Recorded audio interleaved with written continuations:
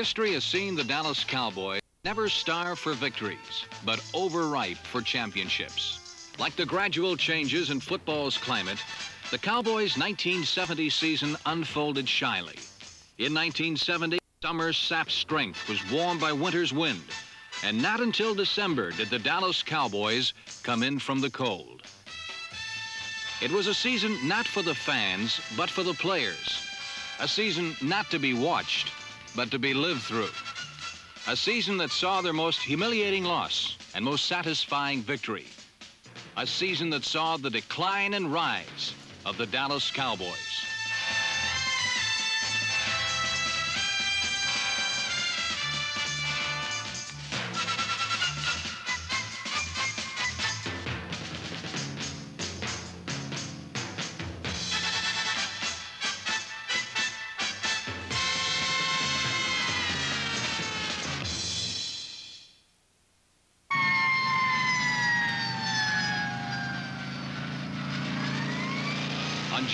17th, the Cowboys' season was ended by the Baltimore Colts in the Super Bowl. A season's labor was lost on three bounces of the fickle ball.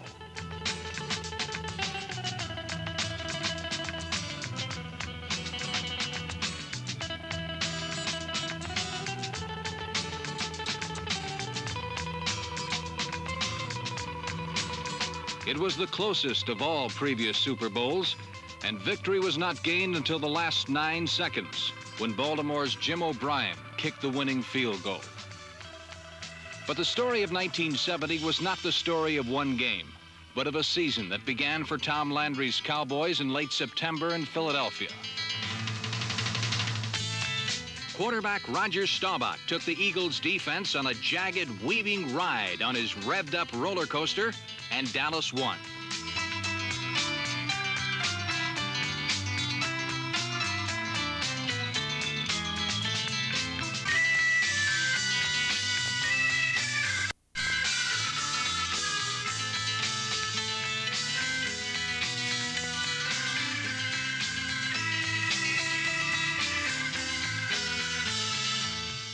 Beyond Staubach, the Cowboys seemed lifeless, and their 17 7 victory was won more on their reputation than their brilliance. In game two, the challenge was Fran Tarkenton and the football giants. Since early training camp, Tom Landry sought to alter Dallas' style to a simpler offense. But it was the big play that beat New York, 28 to 10.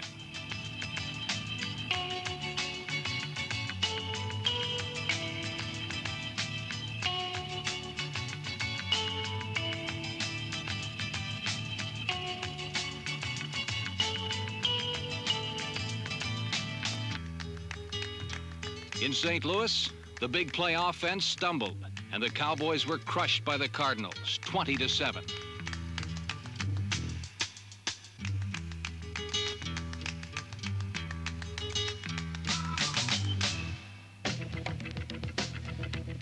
It came up rain in the season's fourth game. The Dallas defense reared its ugly head and shut out the Atlanta Falcons 13 to nothing.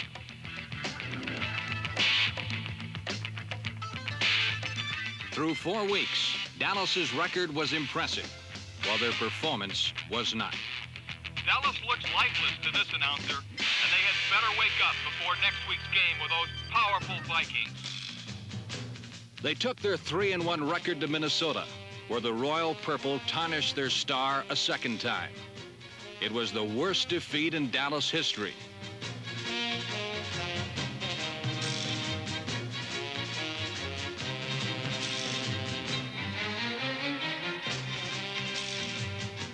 Though the Viking offense scored easily and often, their work was made easier by the Purple Butchers, who cut the Dallas offense to pieces.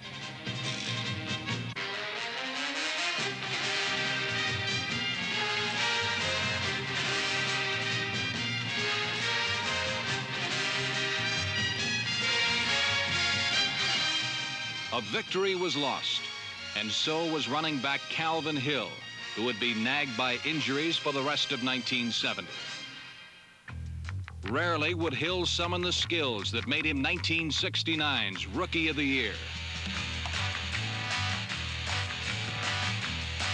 Dallas would miss their sky pilot, freewheeling and free falling, attacking a defense.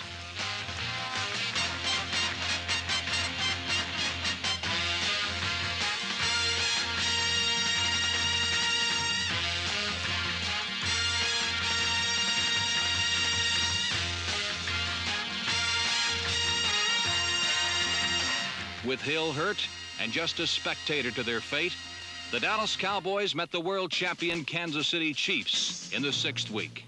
Something old and something new spurred the Cowboys' fourth in six games. Rookie Duane Thomas' smooth stride spurned the Super Chiefs and eased the loss of Calvin Hill. Quarterback Craig Morton and Bob Hayes, who returned to action, burned the blitz as Dallas streamed away with a 27 16 victory.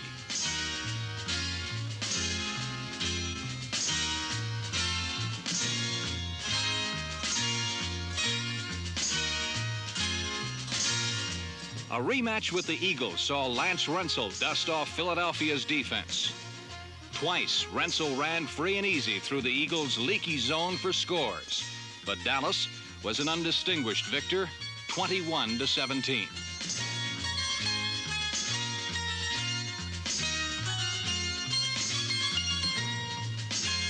The Cowboys were 5 and 2 and apparently sleepwalking to a division title when time caught up with them in the big city.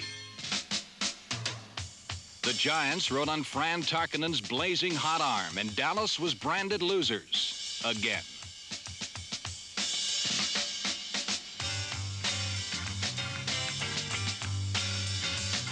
Cowboys collapsed into third place behind the resurgent Giants and then were struck dead in the dark in a sundown shootout with the St. Louis Cardinals. Network television was a witness to the massacre as the Cardinals' merry-go-round turned Dallas into cannon fodder with their circle games.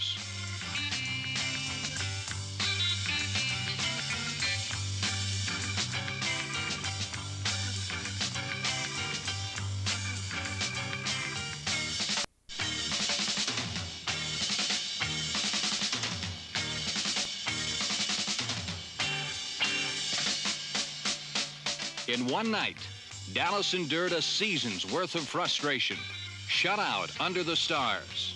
Their season's rush to a title had rusted in its tracks. As the fire left the Dallas offense, the volcano became extinct.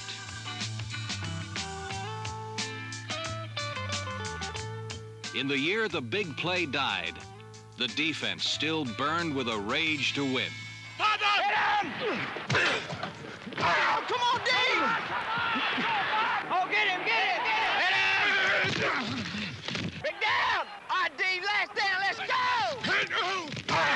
All right, Dave, all right! After nine games, the defense was steadfast, but it was evident that if Dallas was to win, their waning offense would have to be revived. For years, the sophisticated cowboy offense was designed not to rake, claw, and bully defenses, but to confuse and finesse them. It was not a matter of who had the ball, but where the ball was.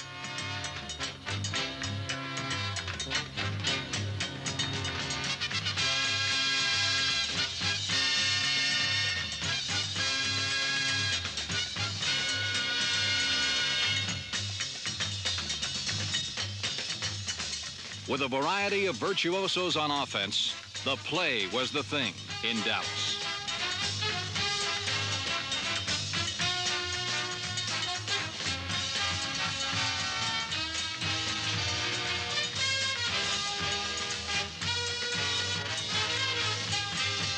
First downs were disdained for touchdowns, and for years the Cowboys were the highest scoring team in the pros.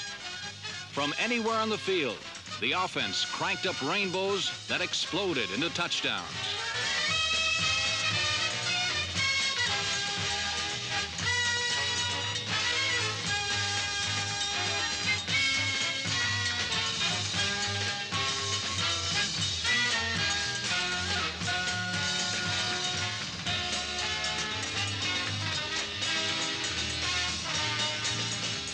The symbol of triumph for the Dallas offense was a Bob Hayes touchdown and a field strewn with tacklers left in his wake. But too often in 1970, the symbol had soured and Cowboy fans left the Cotton Bowl unfulfilled and disappointed. So with their record at 5 and 4, Tom Landry tried again for simplicity on offense. He traded the flamboyance of the big play for steadiness and victories. Using his tough tight ends Mike Ditka and number 84 Pettis Norman to shuttle in his plays, Landry assumed a personal share of the offensive burden. It was up to quarterback Craig Morton to execute the master plan. Morton now probed not bomb defenses. The road to victory became a conservative one.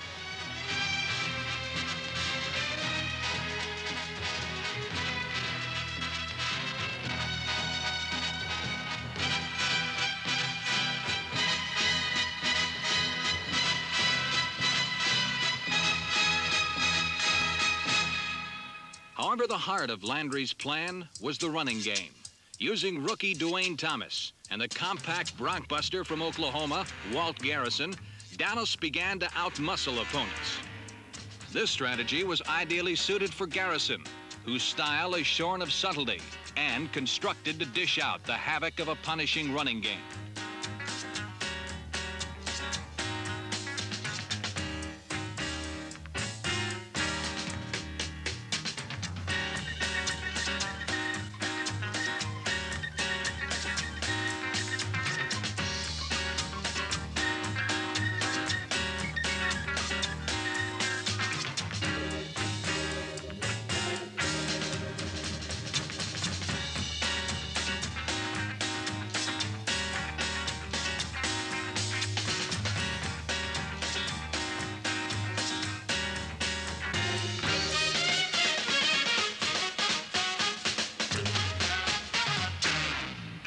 To complement Garrison, there was rookie Duane Thomas, whose free-flowing syrup strides carried him over 800 yards in 1970.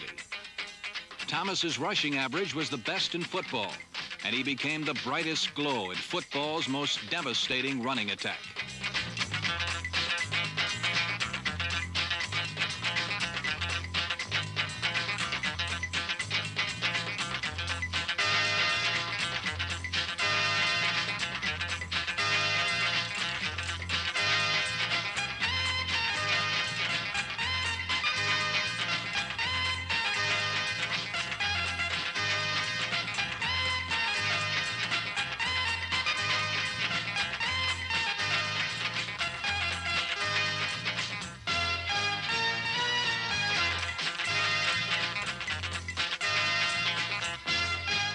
Duane Thomas, a new explosive element in an old formula for victory.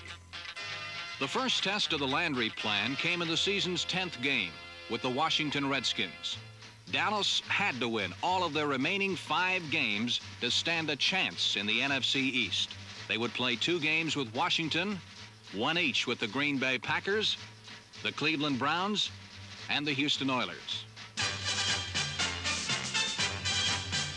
The Cowboys have always had a Roman's appetite for victory, but never a Spartan's will to suffer for it. Against Washington, not only a new philosophy, but a new attitude won. Victory came from rookie Mark Washington's willowy strides. Victory came from the offensive line, from Tony Liscio, from guards Blaine Nye and John Niland, from tackles Ralph Neely and Rayfield Wright, and from center Dave Manders. It came from three Duane Thomas touchdowns. It came from a team working and playing as one, not from the individual brilliance of one or two players.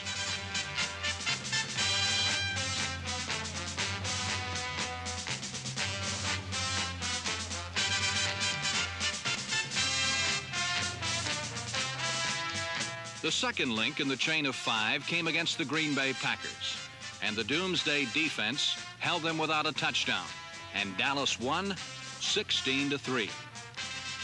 The next week against Washington, the offense scored 34 points, while the defense allowed none.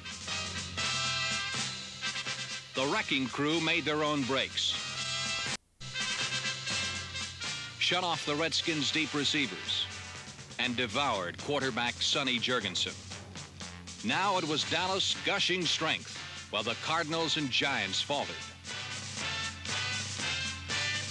Dallas came to Cleveland in the 13th week. The muck and mire dictated defense, and Dallas was savage.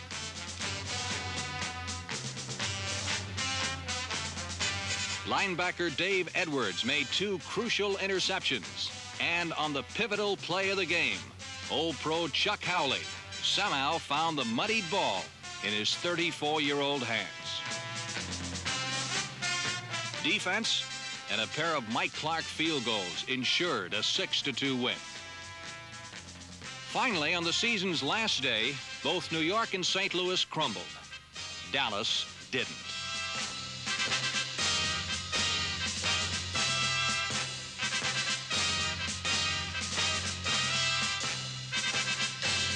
It was a day for the offense, which scored 52 points.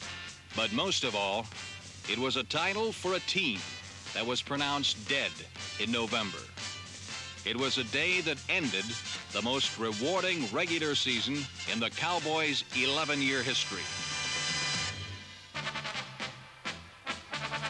Dallas had won the NFC Eastern Division in many ways. They had won by blocking and by passing. They had won on all-out hustle. They had escaped to win. They had won by running. They had won by kicking and by blocking kicks. They had learned to win with position football. They had won with a flair.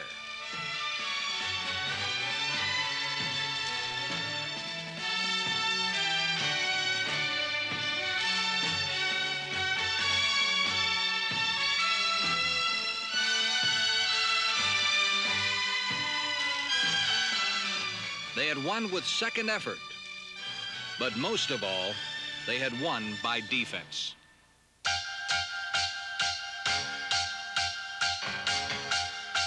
During the Cowboys' five-game stretch run, the Dallas defense was the best in football.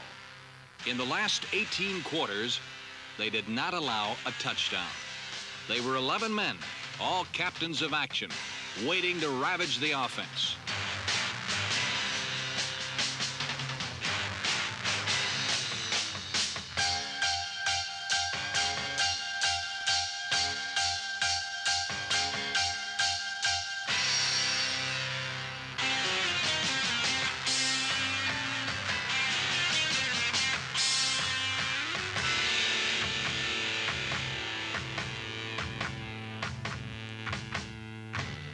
Soul of the Dallas defense were the four men who jousted in the often forgotten battles deep in the dirt. From the outside came 10-year veteran George Andrie, number 66, and young Larry Cole, number 63. While they supplied the fire, veteran tackles Bob Lilly and Jethro Pugh supplied the fury. Pugh's trademark is flat-out quickness to the pocket or to the man running free in the open field. He was a pathfinder, a tracker, a stalker of quarterbacks.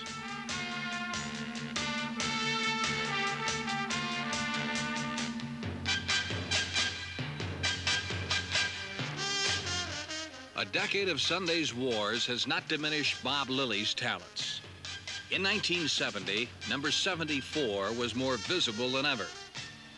There is no tackle quicker for 20 yards, all the distance Lilly needs to pursue and plunder the man with the ball.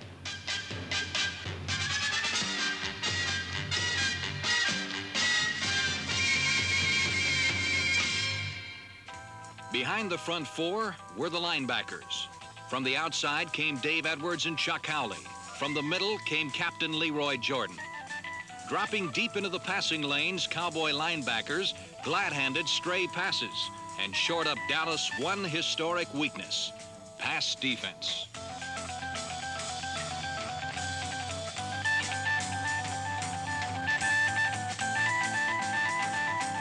The deep defense was manned by three All-Pros, Mel Renfro, Herb Adderley, and Cornell Green. The fourth member was rookie Charlie Waters, already wise in the ways of the NFL. Four swashbucklers performing the ballet of pass defense.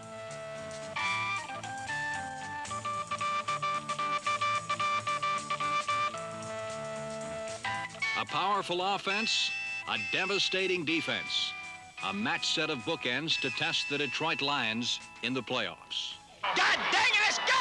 Go man! Come on now! Get over! Against Detroit, it was not a day for offense, but another day for the defense. Come on, D, let's go, baby! All right, D, all right, D! Let's go defense, baby! Come on, people! Come on, now, hold them, hold them, hold them!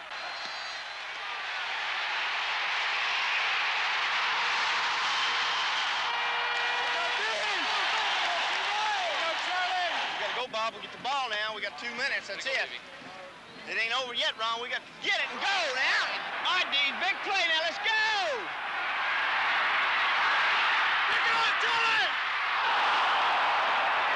Just pick it up! Right, down, let's go, baby! Come on, Bob, let's go! Come on, George, come on! Last play of the game! Come on, Bob, let's go! Get him, Bob! George, get the lead, let's go! Come on! Come on! Let's go, Herbie, let's go! One more play, let's go! Hurry up, baby, let's go! Please, please.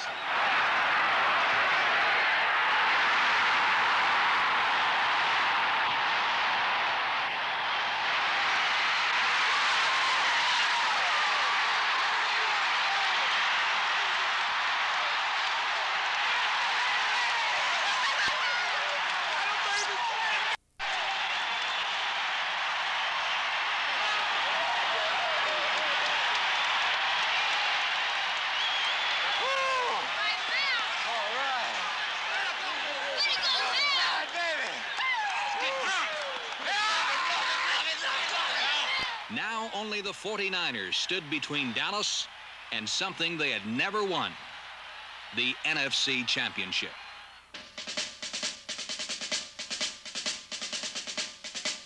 In San Francisco, a season's struggles bore sweet fruit. The defense broke open a 3-3 tie by twice turning over the ball to an offense that converted these gifts into touchdowns.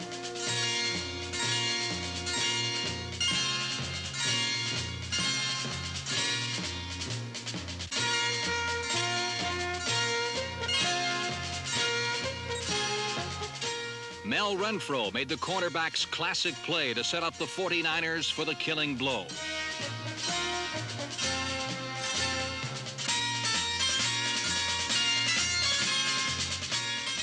A first down pass from Craig Morton to Walt Garrison bent the will of San Francisco. And with time dying, the Doomsday defense broke John Brodie's last straw, and Dallas won 17 to 10. For the first time, another team walked off in sorrow, while the Dallas Cowboys took the magic carpet ride of champions. For Dallas, the third day of January 1971 was truly Happy New Year!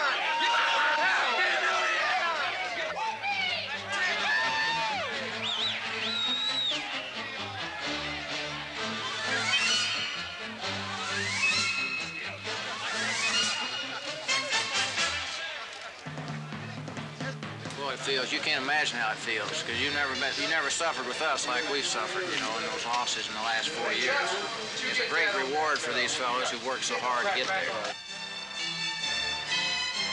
Perhaps in past years there was success without suffering.